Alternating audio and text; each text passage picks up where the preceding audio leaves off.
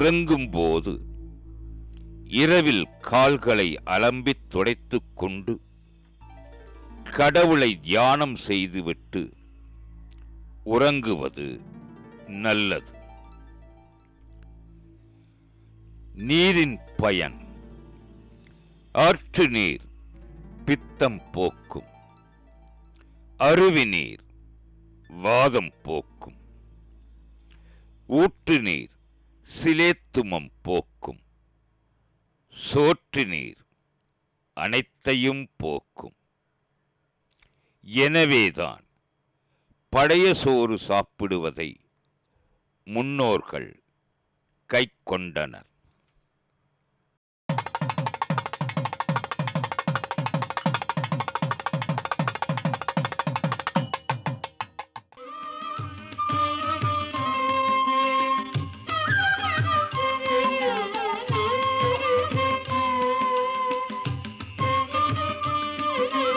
கிருஷ்ணா கோபாலா ஹே ஹரி கோவர்த்தன கிரிதார் என்று ஆயிரம் ஆயிரம் நாமங்கள் பகவான் ஸ்ரீ கிருஷ்ணருக்கு.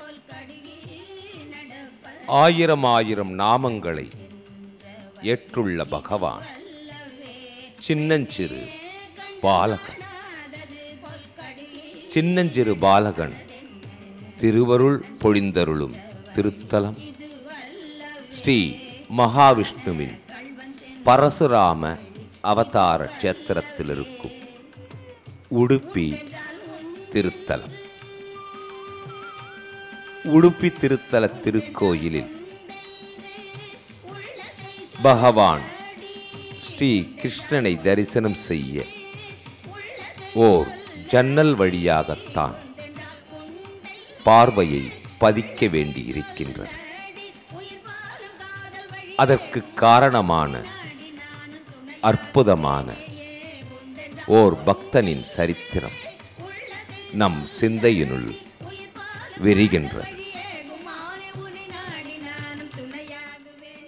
உடுப்பி கண்ணனின் பரம பக்தன் இடையர் குலத்தைச் சார்ந்தவன் கனகதாசன்.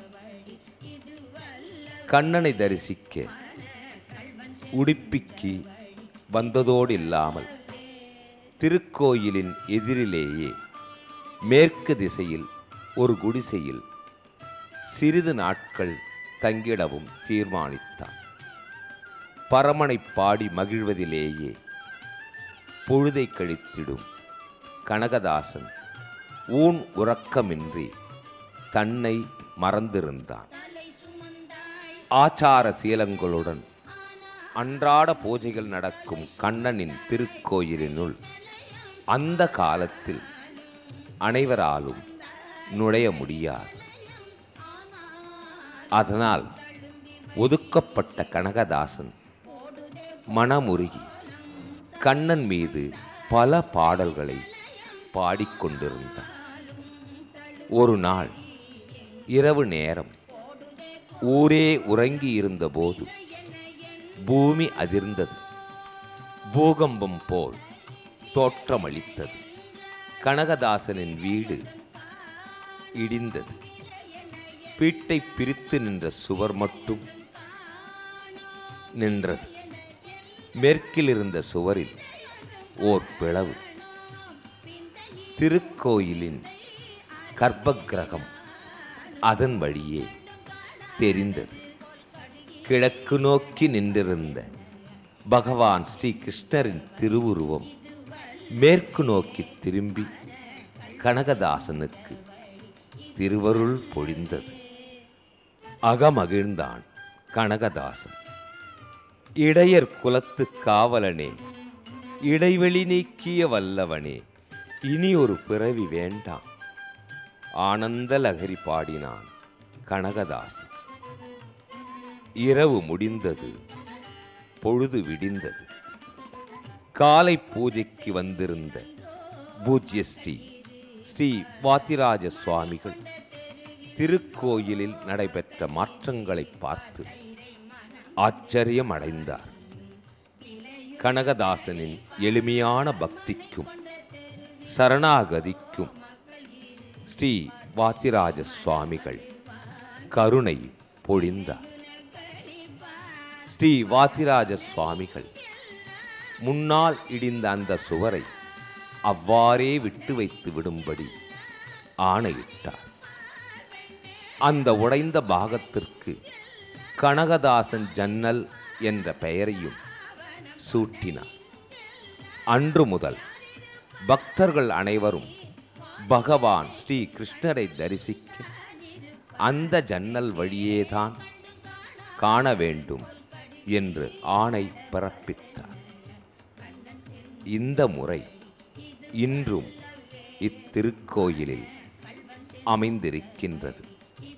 நாம சங்கீர்த்தனத்தால் பகவானை சரணடைந்த புரந்தரதாசர் விஜயதாசர் போன்றோர் வரிசையில் தாசர்கள் பலர் இருந்திருப்பினும் கனகதாசனின் பக்தியினால் உடுப்பி திருக்கோயில்.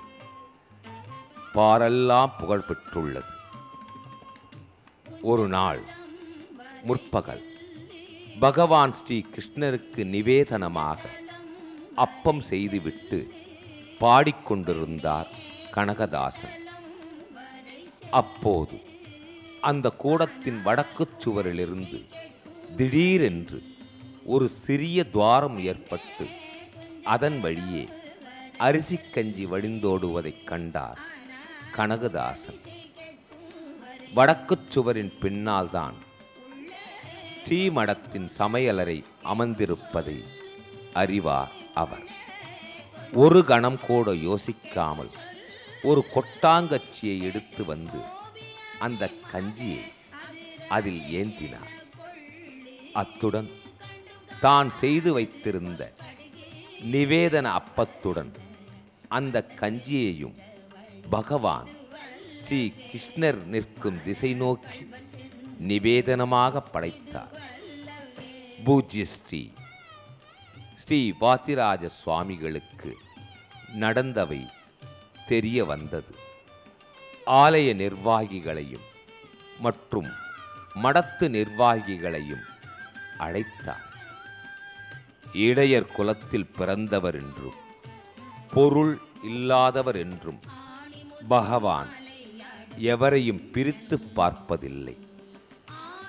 பரந்தாமனுக்கு தனது எளிமையான உணவை அமுதமென படைத்து விட்டார். கனகதாசன் அரிசி கஞ்சியும் அப்பமும் இனி எப்போதும் நிவேதனமாக பகவான் ஸ்ரீ கிருஷ்ணருக்கு படைக்கப்பட வேண்டும். தூய்மையான பக்திக்கு நிகர். எதுவும் இல்லை இனி இத்திருக்கோயிலில் இதனையே நிவேதன சம்பிரதாயமாக மாற்றிவிடலாம் என்று அருள்பாலித்தருளினார் பூஜ்ய ஸ்ரீ வாத்திராஜ சுவாமிகள் கண்ணன் குடியிருக்கும் திருக்கோயிலாய். கனகதாசனை கருதினார். உண்மையான தூய்மையான எளிமையான பக்திக்கு எடுத்துக்காட்டாக உடுப்பியில் பகவான் ஸ்ரீ கிருஷ்ணரின் தரிசனம் கனகதாசனுக்கு கிடைத்த ஜன்னல் வழியாகத்தான் அனைவருக்கும் கிடைத்திட வேண்டும் என்றும் கண்ணன் ஏற்றுக்கொண்ட கனகதாசன் படைத்த அரிசி கஞ்சியும் அப்பமும் தான் என்றென்றும் நிவேதனமாக இருக்க வேண்டும் என்றும் நிர்ணயிக்கப்பட்டுவிட்டது. பூஜ்ய ஸ்ரீ வாத்திராஜ சுவாமிகள் கன்னட தேசத்தின் மடாதிபதிகளிடையே மாபெரும் சரித்திரம் படைத்து விட்டார் யாதவர் குலத்து மைந்தனான கண்ணனின் தனிப்பெரும் கருணைக்கு முன் பக்தியும் அன்பும் தான் தெரியும் என்பதை நிரூபணம் செய்துவிட்டார் கனகதாசன். கனகதாசனின் தூய்மையான பக்தி கனகதாசனின் பரிபூரண சரணாகதி அனைவருக்கும் கிடைத்திட வேண்டும். பால்மணம் மாறாத குறும்பு கண்ணனாய் வெண்ணை திருடும் கள்வனாய் நின்ற திருக்கோலத்தில் சின்னஞ்சிறு ஜன்னல் வழியே திருக்காட்சி பொடிந்து மனம் முழுவதும் எண்ணங்கள் யாவையும் ஆக்கிரமித்து துன்பங்களை மத்து கொண்டு கடைந்தெடுத்திடும் உடுப்பி ஸ்ரீ கிருஷ்ணரின் திருக்கோலம் ஓர் அற்புத தெய்வ தரிசனம். அற்புத ஆன்மீக புதையல். உடுப்பி. உடுப்பி ஸ்ரீ கிருஷ்ணன் கோயிலுக்கு அருகாமையில் இருக்கும் ஸ்ரீ சந்திரமௌலீஸ்வரர் தரிசனத்துடன் உடுப்பி ஸ்ரீ கிருஷ்ணனின் திருக்கோயிலின் உள்ளே இருக்கின்ற தெய்வ சன்னதிகளின் தரிசனமும் பாபத்தை போக்கி புண்ணியத்தை நல்குவதாகும். சர்வதர்மான் பரித்தியஜ் மாமேகம் சரணம் பிரஜ.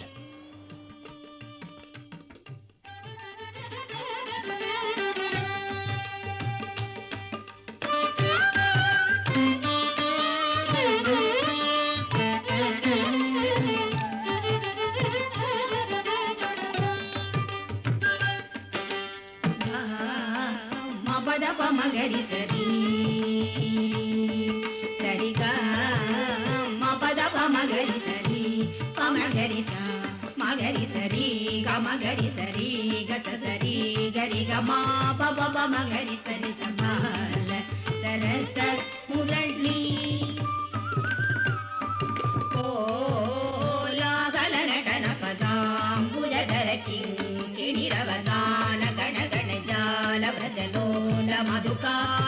गी गरि गमारि గో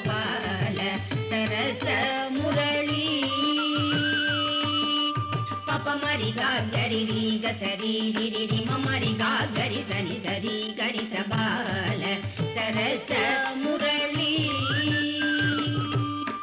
నిరవతి రమ్య స్మేర ముకాంబుజ కుసుమిత కల్హార దళలోచన గోపాల సరస మురళీ. మపదాపగమ పమగరి సగా గరి సని దిని గగమ పద పపాదని సారి స స ని ద ని స స సారి స ని ద పద ప మ గారి స పాల సరస మురళి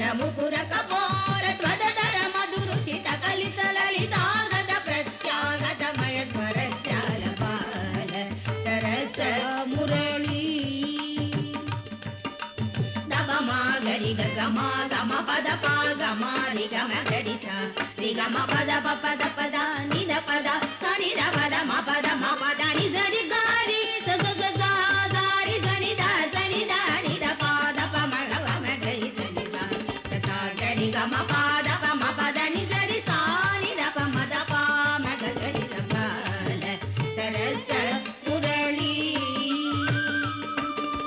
सुरबन्धित मधुरा पुरि सदना सरोगन ಗಮನ ಕಲಿತ ಕಲಾ ಪಜಿಪುರ ಯನನಯನ ರುಚಿರ ಕನಕ ವಸನ ರಾಧಾ ರಮಣ ಮಂದಾರ ವನ ಮಾಲಧರಾಯತ ಸುಂದರ ಪರಿಮಳ ಕುಸುಮ ಸುಕೇಶ ಸಂತತ ಮನು ಚಿಂತಿತ ಮಮ ಹೃದಯ ಸರೋಜ ಮಧುಪ ಕಳಿಂಗ ನಟನ ಗೋಪಾಲ ಸರಸ ಮುರಳೀ ಹೇ ದಯಾಕರ ಸಾಗರ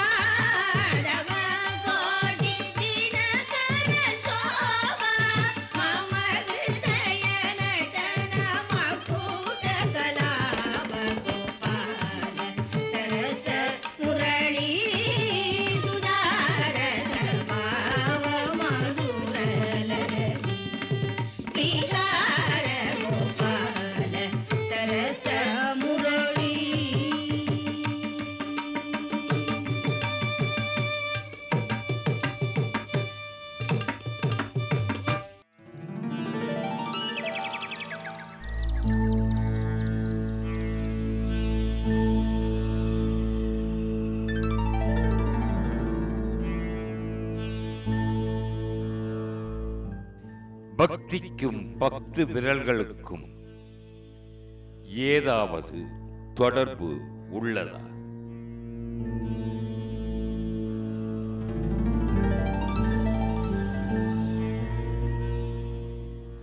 பக்திக்கும் இந்த பத்து விரல்களுக்கும் கண்டிப்பாக தொடர்பு உண்டு.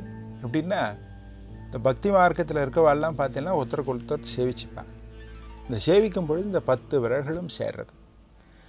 சுவாமியை சொல் தொடும் பொழுது சுவாமியை சொல்லும் பொழுது சுவாமி கிட்டக்க வேதம் சொல்கிறது எப்படி சொல்லணும்னா அயம் மே அஸ்தோ பகவான் அயம் மே பகவத்தரஹா.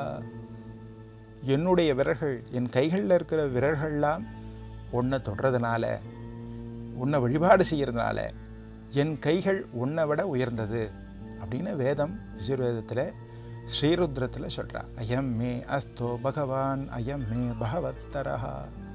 உன்னை என்னுடைய விரல்கள் தொடுறதுனால என்னுடைய கைகள் தொடுறதுனால உன்னை விட நான் உயர்த்தவனாகிறேன் அப்படின்னு சொல்கிறார் அடியார்கள்லாம் பார்த்தேன்னா ஒருத்தருக்குள்ள ஒருத்தர் இப்படி தான் சேவிச்சுப்பான் சிவாலயத்துக்கு வரோம் கபாலீஸ்வர ஆலயத்துக்கு வரையில் கோவில்களுக்கெல்லாம் தரிசனம் பண்ண போகிறேன்னு பார்த்தேன்னா அறுபத்தி மூன்று அடியார்கள் இருப்பான் அவெல்லாம் இந்த பத்து விரல்களும் சேர்ந்தா மாதிரி அஞ்சலி குப்பிய நிலையில் தான் இருப்பான் இந்த அஞ்சலிக்கு அவ்வளோ விசேஷம் உண்டு.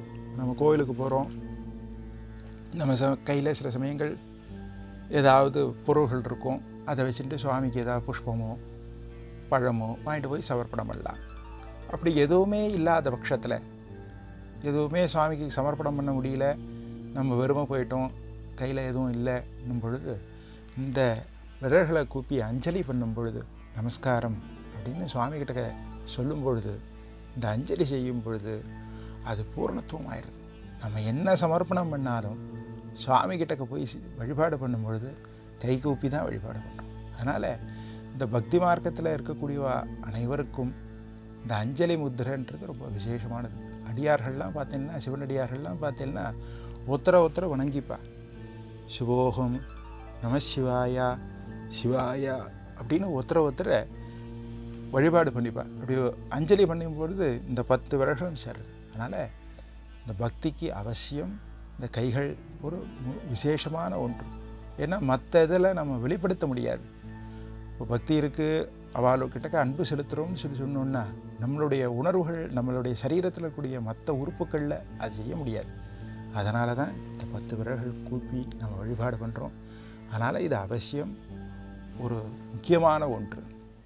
ஆன்மீகத்தில் சந்தேகங்கள் வினாக்களால் அதற்கேற்ற தீர்வுகள் விடைகளால்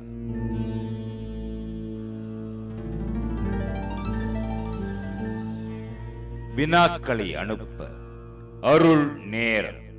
ஜெயா டிவி தபால் பெட்டி எண் மூன்று ஒன்று ஏழு மூன்று. சென்னை ஆறு லட்சத்து முப்பத்து இரண்டு.